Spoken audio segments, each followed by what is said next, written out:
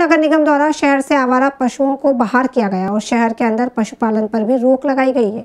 इसके बाद भी हालात यह है कि शहर में कई स्थानों पर नियमों को ताक पर रखकर पशुपालन किया जा रहा है। बाणेश्वरी कुंड के पास मंदिर परिसर की ज़मीन पर इसी तरह अनाधिकृत रूप से एक हज़ार वर्ग फीट पर बाड़ा बनाकर पशुपालन किया जा रहा है। गुरुवार सुबह दस बजे निगम की रिमूवल टीम यहाँ पर कार्रवाई के लिए पहुँची और बाड़े को तोड़ा गया। यहाँ पर करीब बीस से पच्चीस मवेशी मिले। जिन्हें देपालपुर स्थित गौशाला में भेज दिया गया है।